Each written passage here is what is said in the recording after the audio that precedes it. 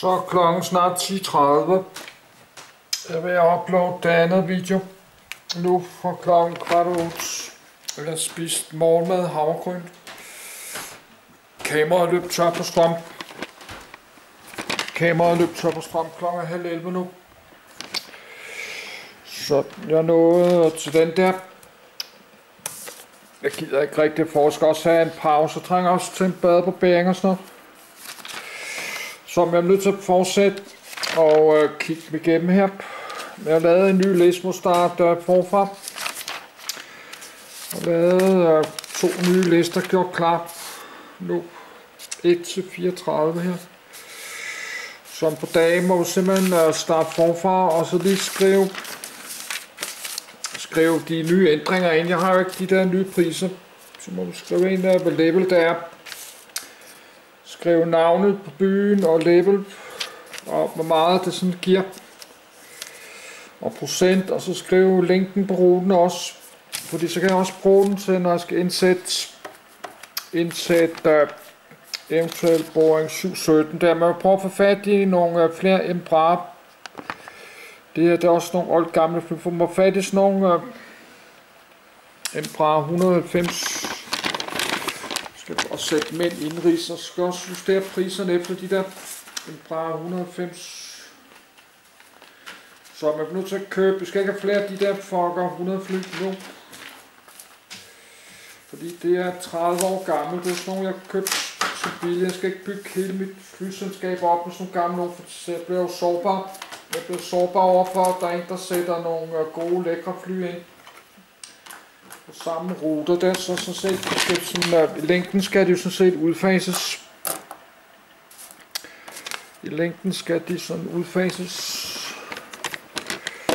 Og på tirsdag kl. 2 min tid, dansk tid, som er klokken 17 eller andet, så skal jeg altså betale næsten 5 millioner. Så der er kun 2,8 millioner nu. Men der er stadig 10 nye fly, som mangler. Så jeg skulle meget gerne ende øh, mere end 3 millioner i dag. Eller har jeg problem, så det var på øh, næsten 2,9 millioner. Klokken er 2 på serveren. Så, og der er mange fly nu, der stadig flyver med underskud. For alle dem, jeg har rettet, alle de der Fokker 100 fly, jeg har rettet her, de starter først øh, med en ny pris nærmest, nærmest for en morgen, ikke? Altså dem, jeg har rettet øh, tre dage siden. De starter så nødt til at kigge øh, videre på de her.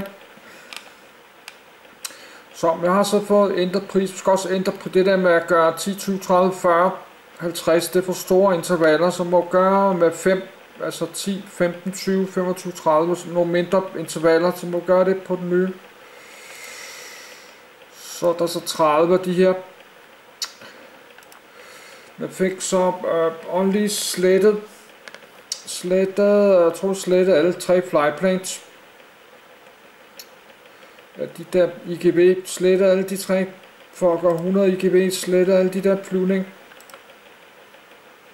fik så bare ikke, øh, har ikke slettet de der, fordi jeg har en anden, øh, de Brugave har den på den anden Fokker 100 HKV, du ser, der er problemer med booking her. Så lad den lige øh, være nu. Har ikke slettet, uh, øh, flyet kunne man selvfølgelig gøre men nogle af dem. sletter de der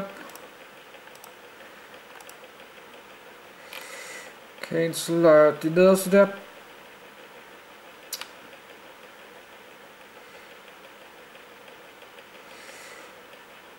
kunne godt være, at det de gav ordentligt være. Det kan godt være, at de, den ene giver overskud. Åndsvært skal ikke have slet flyvninger, der giver penge. De giver lidt penge. Må lige lade det være. Så der er så nogen, du slet nogle af dem. som ikke er noget booking på. Så jeg vil gerne have en uh, pause nu, lige og hygge mig og kigge på noget af det der game du kigge på den der. I'm down to 165 bucks. Og kig på den her, her står og laver pizza nu. Så lige se den færdig, så går jeg i gang med en anden en. Han har 16, han står også og laver pizza det. Er også øh, episode 1. Han, han har 16. Jeg kan lige abonnere på hans øh, playlist. Så den vil jeg se videre på. Så, og det er en anden en Estate Agent Simulator. Og det er en anden sådan fjollet uh, YouTuber, der spiller det der også. Så jeg kan ikke og, og klo på det. Så jeg fik uh, Indre Mars slettet noget det der.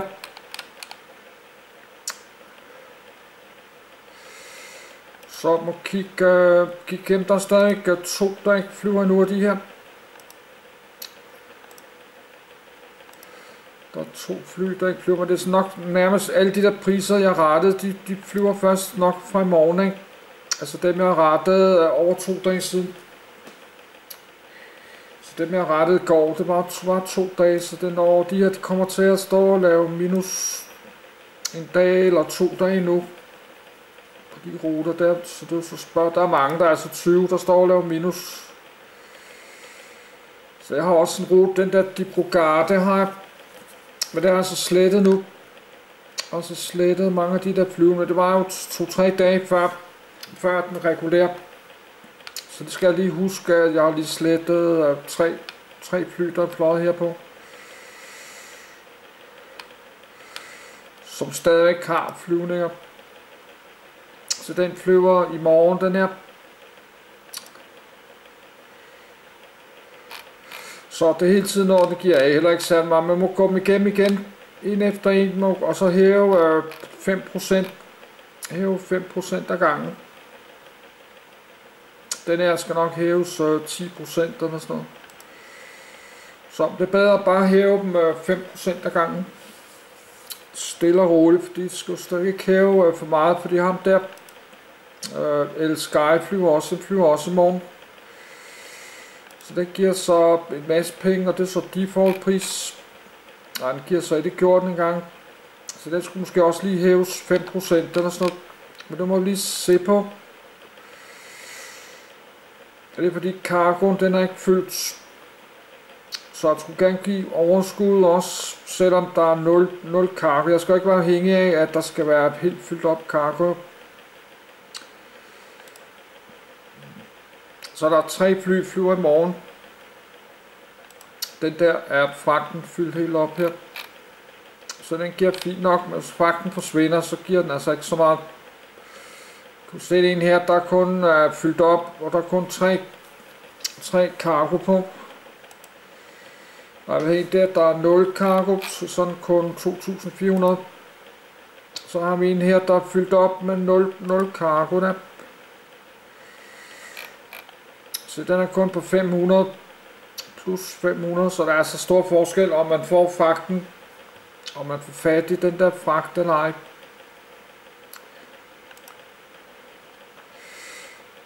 Så skal også justere prisen efter, øh, om øh, meget fragter og sådan på, skal man altså også lige tænke på.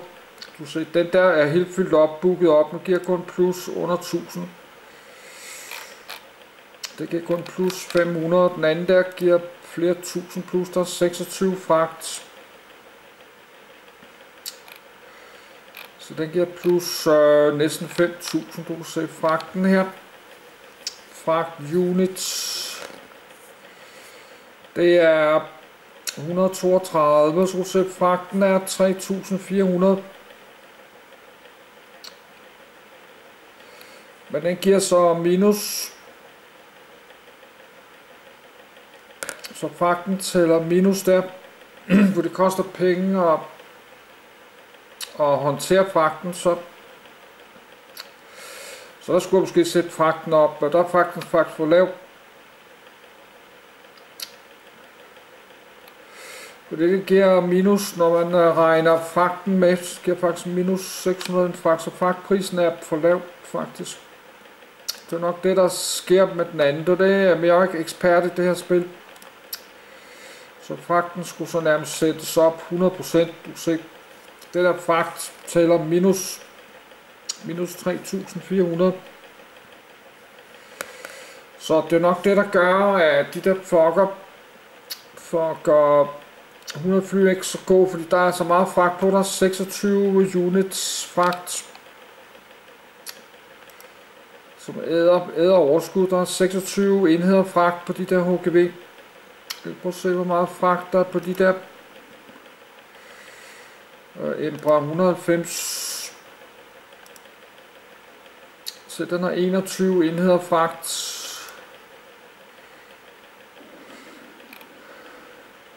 Så der går fragten giver godt plus plus 63. Så fragt nærmest gratis. Der er 100% fragt på næsten. Så der kan gå og hæve fragt, så det er så det der fragt skal man lige være opmærksom på. Så den der er flyet fyldt helt op, der trækker fragten altså helt ned. Så der giver så stadig 7.000 overskud, man tæller sig fragten. Men det så er billigere, du sætte kun 770, så den tæller 1100 e- ned, i stedet for 3000 i fragt på, på den der fucker 100. Variabel kost er der 0 variabel kost, og 770 og 300, så den giver minus 1154 med 0 fragt. Og den der fucker, det er nok det, der er den store forskel, jo. Så den der fucker 100 der, det koster næsten 3.500 med 0 fragt på. Prøv at tage sådan en, den er helt fyldt op for eksempel. Så kan man så se, at fragten giver 3.000. Det er 3.400. Det er over 2.000 mere minus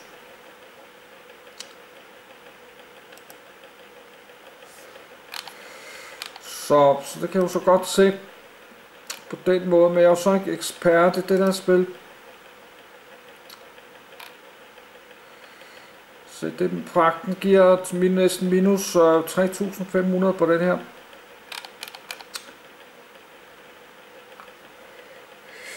Så faktisk næsten bedre at have et fly, der ikke er noget fragt på. Så den der Su-17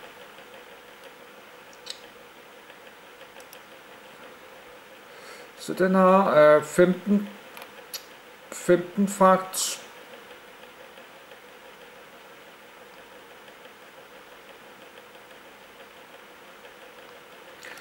Så vi var på at se, øh, så den er så lidt lavere der, 1400, vi giver stadig minus, vi giver stadig minus den fragt. Så det er sådan nogle ting, men nu er fakten fyldt næsten op på den her, for eksempel 11 ud af 15, og giver stadig, nej, det den er lige kigger stadig minus, så den skal uh, helt fyldt, den skal være helt fyldt op med det fragt.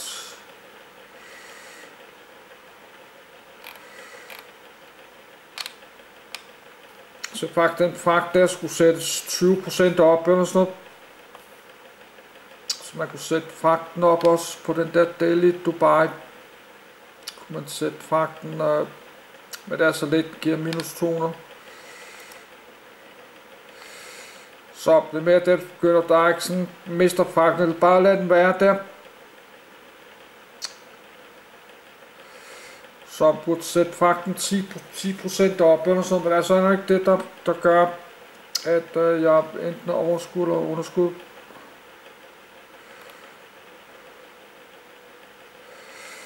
Så jeg kan ikke huske, det er jo noget, jeg skal sidde og skrive op, jeg kan ikke huske det.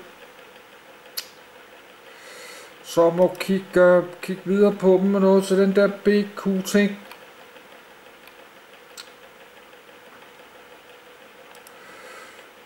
Noget til den der Amrisar. Dalia Amrisar her. Du ser, der er fragten helt nede. Du ser minus, tællerne altså minus 2.500 på fragten. Det giver minus 3. Jeg tror så den der har sat 50% op. Amri Saab har jeg også står hernede sat den 50% op. Så må prøve at, øh, at få udskiftet. Det er jo ikke særlig godt, at jeg skal have 50% op, bare for at kunne på at løbe rundt på den her rute, så det er en god rute for det her fly, så den giver minus 3, næsten minus 4.000. Og det med billetpris 100. Hvis vi skal finde billetpris 150,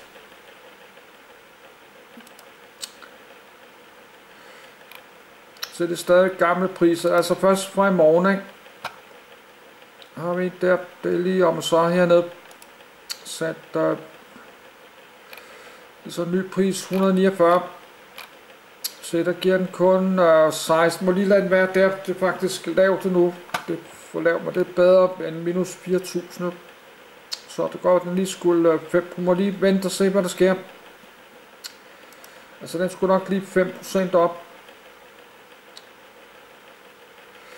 Så der er stadig, men det er så først øh, i, i morgen morgen eller sådan Så det her er i morgen. Stadig gammel pris. Nej, det er ny pris i morgen. Så må lige, hvad det er, så kan vi gå videre skrive det ned, så tror jeg nu, jeg synes stop nu, fordi jeg vil gerne lige lave noget andet, for det, det er sådan et evighedsprojekt, jeg vil skrive øh, ned.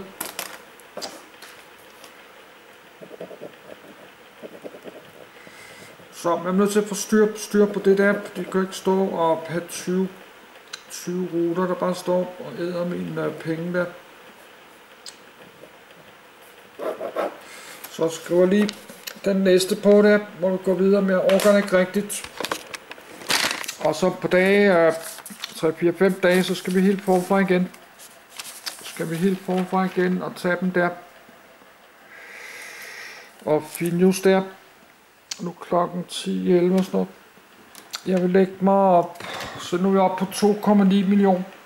Så jeg skulle gerne, øh, når dagen er gået, skulle meget gerne over 3, fordi der er også noget leasing i dag her.